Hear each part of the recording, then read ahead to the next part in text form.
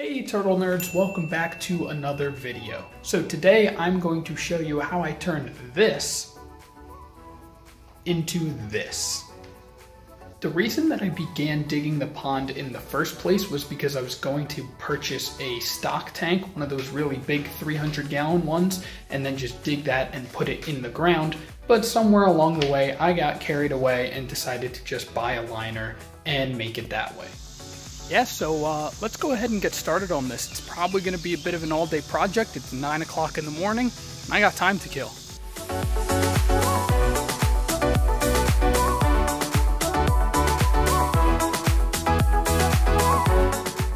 Alright folks, so normally your first step is to measure out and kind of mark the area that you're going to want to dig for your little pond. However, I have these ever so stupid, annoying, nice and prickly rose bushes, which I have been confirmed by my parents do not matter and they do not like them. So we're probably just going to take out this one for now and if it's real easy, I'll just go ahead and pop out the others, but this way I can clear a nice big area for my turtle pond. It may be early, but we know that the boys and Bean are up. All right, so luckily this bush was pretty easy to topple, so I'm gonna go ahead and take out the others.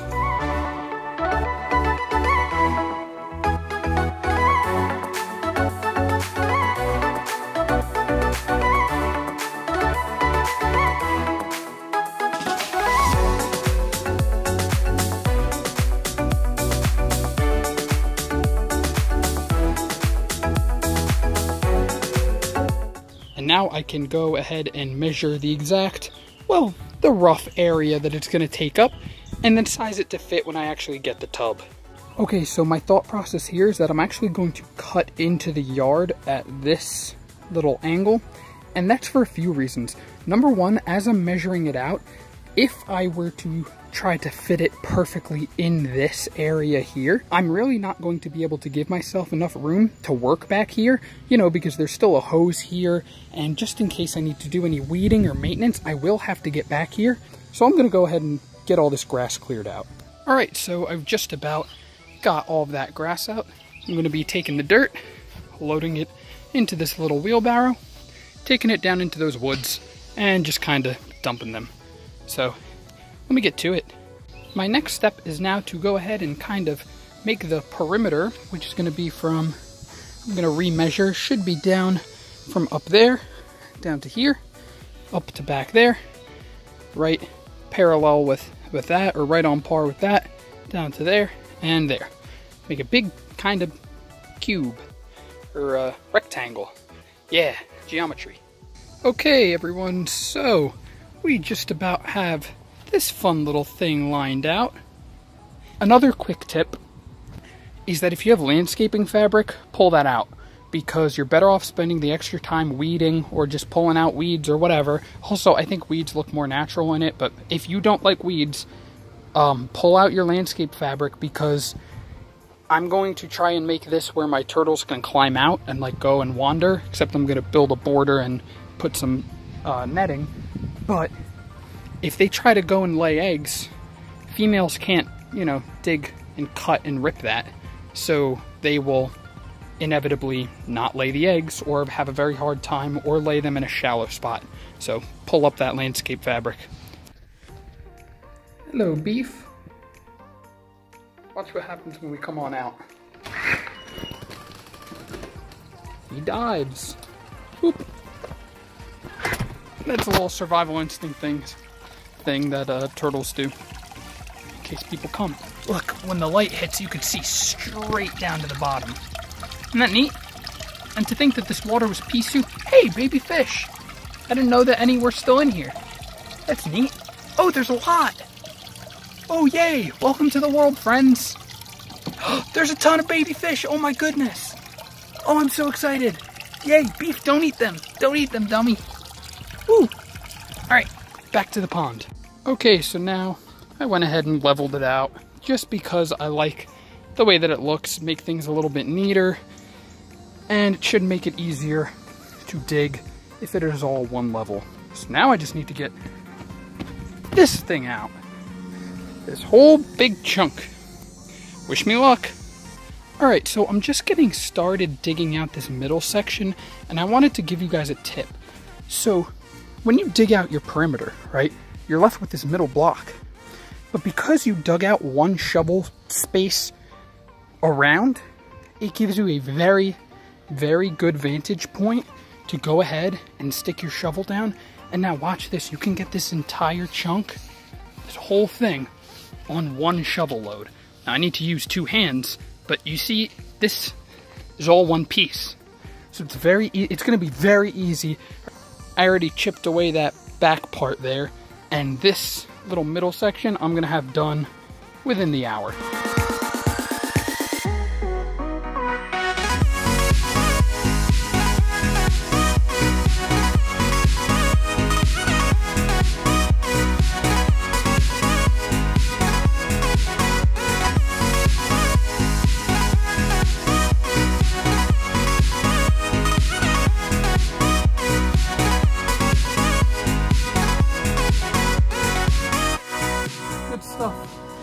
After finishing the first layer, I'm beginning to get started on the second layer, and I've hit this stuff, which is not only excessively heavy, but it doesn't really break very well.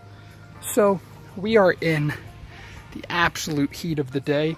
So I'm gonna go inside, eat lunch, let the sun kind of cool down a little bit because it's one o'clock. This is prime time for it to get really toasty.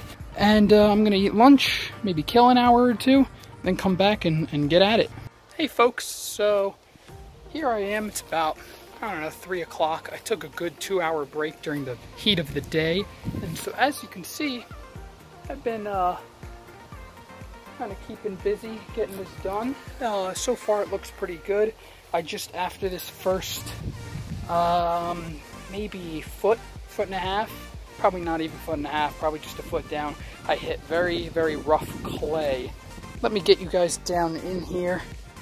You can see this really weird multicolored orange, kind of blue, sometimes green clay. So I'm going through and just carving out kind of this bottom area. And yeah, I'm just updating you guys on this, on my progress. I'm gonna keep digging. And next time I kind of come back on here, I should be done. I should kind of have this cleared out. I need to expand uh, the walls a little bit, and I should pretty much be finished.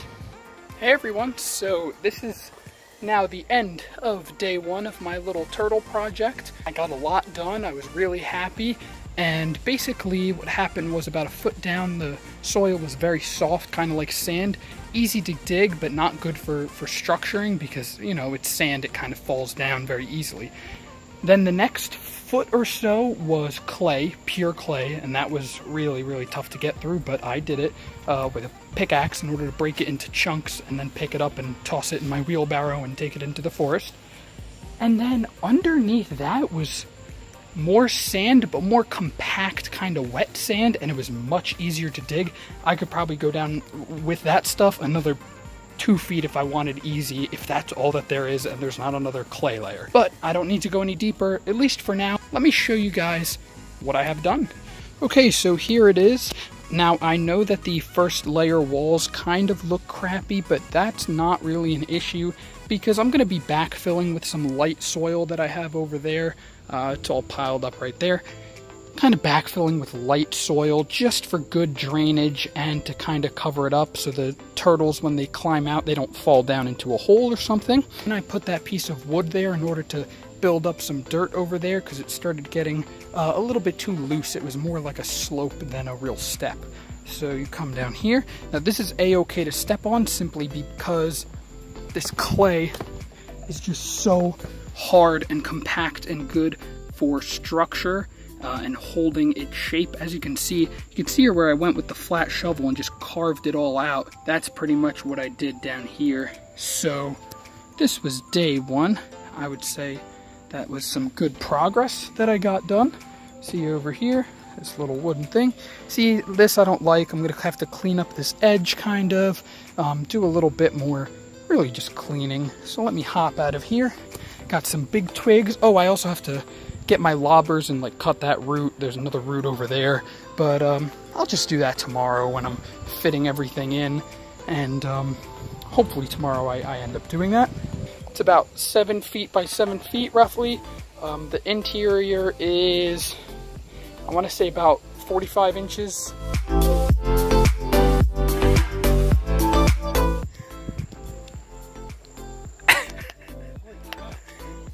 Alright everyone, day two, and it's been decided. I'm just going to do a liner. And so because I'm going to do a liner, I can do whatever I want here. And um, this is about six feet by seven feet, actually seven feet this way. I'm going to build a wooden box around this, put wire on top, and hopefully, if I'm smart enough and I figure it out, um, make a wooden hatch so that way the whole wire frame can kind of come up in case I need to access this.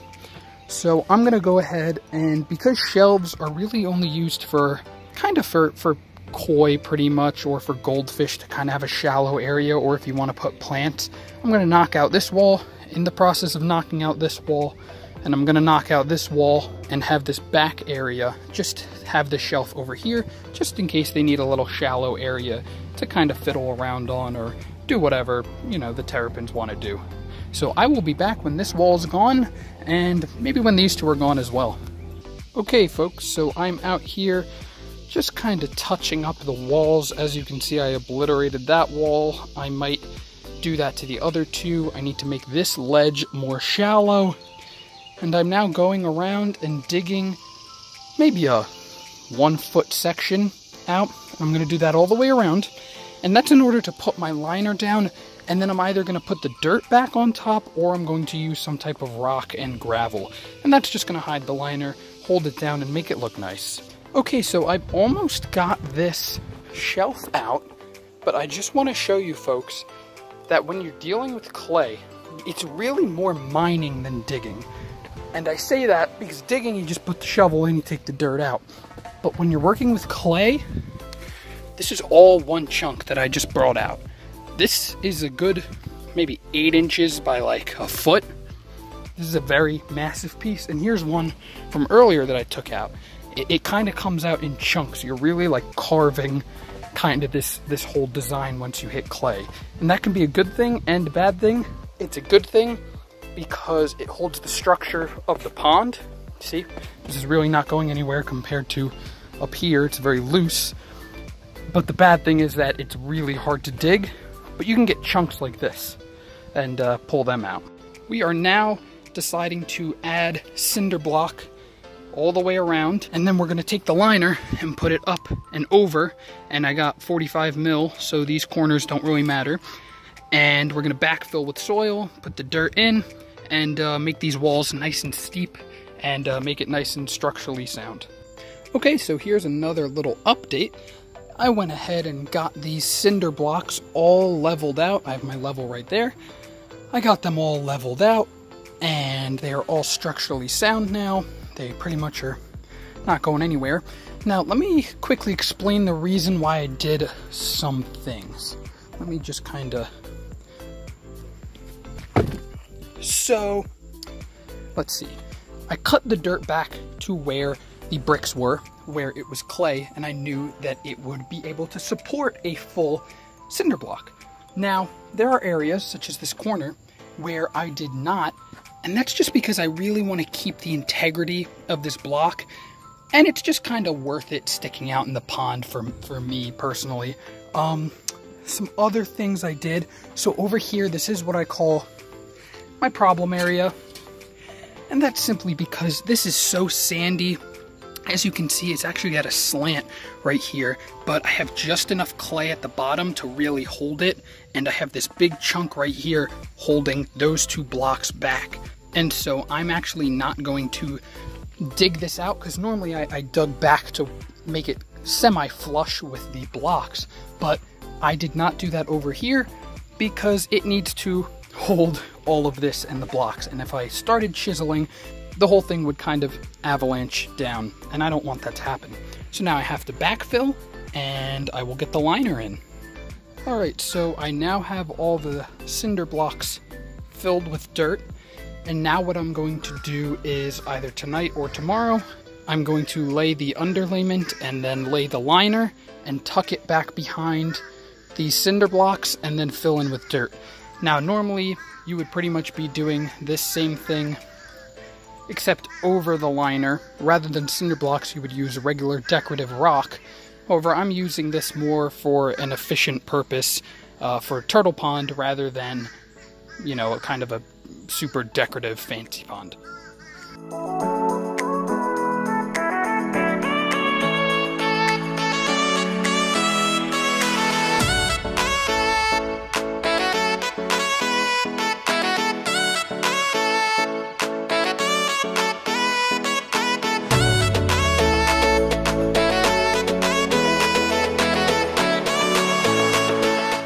Okay, so now I have this little perimeter border fence all put in. And now I am going to backfill kind of the front and the back and get this straightened out. Then maybe I'll fill it. Do tomorrow. Um, as you can see, I pretty much got that down to here done. I need to fill in a little more here. Um, back there is pretty good. That corner's solid. And then I need to get the whole front. But so far, this is going pretty well. This is just some lattice that I got from Lowe's. Cut it in half. Got some stakes, cut those. And uh, tomorrow I'm going to be putting, uh, I'm going to finish backfilling, and then I'm going to fill it with water and put a whole net over top the entire thing. So we are now on day, I believe, four or five, and so all around the pond, what I'm doing is I'm getting the base layer of dirt in, and what I pretty much mean is I'm filling in these cracks and then pushing it down because I want to get a very strong layer down of this dirt. So that way the turtles can't really, you know, fall through and kind of get stuck back there. They would have to really dig themselves into one of these corners in order to get stuck. And uh, then rinse this all down, clean it up, and get it filled. So I'm going to get the hose, get some of the dirt off of it, toss it in like this. Let's get rolling. Hooray! So I have to get down there and kind of work out the wrinkles and uh, make sure that it flattens out nicely. Slowly but surely it's filling up. We're almost up to the rim. Slow and steady. But we're getting there. We're getting really, really close. Just a couple more inches. That's maybe five inches left. And then we are done.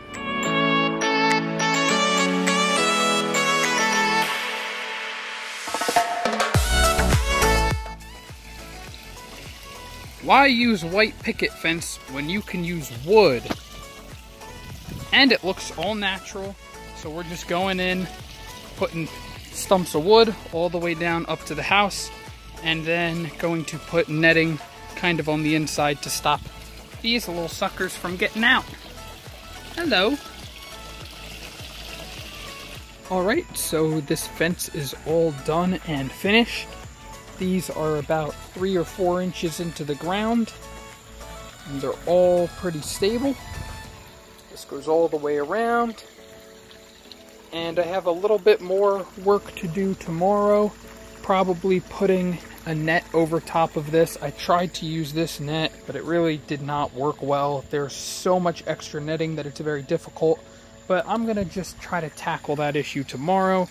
And I may be putting a net kind of on the inside against uh, the entire wall, just to make sure that they can't get out.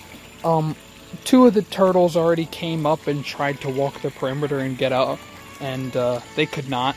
So that's good. That's good news for me, knowing that they cannot, in fact, climb out. At least, not now. And so I'm just going to kind of take some netting and put it on temporarily. But yeah, I had uh, some trees cut, and so we took these posts and pieces of wood and laid them all out, just like this.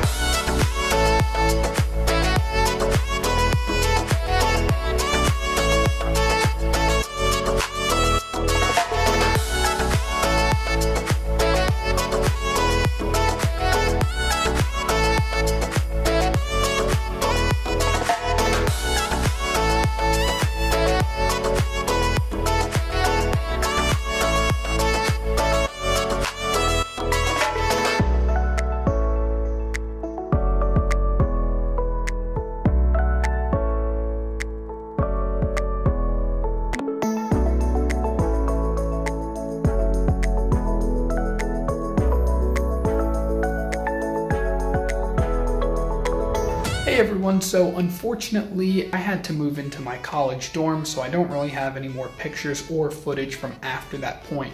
But the pond is basically complete. There's just a few more things that I would like to do with it to make it look better and a little more natural, but for right now it's gonna serve its purpose and those three terrapins are gonna be very happy in their pond. That's gonna be a pond for any terrapins that I get here. I can now just send home and have my parents feed them and kind of take care of them because I made sure to make it very low maintenance. So thank you all for watching. If you want to see more of what I'm doing here, please hit the little subscribe button and the bell notification thing so you don't miss any of my videos. And I'll see you all in the next video.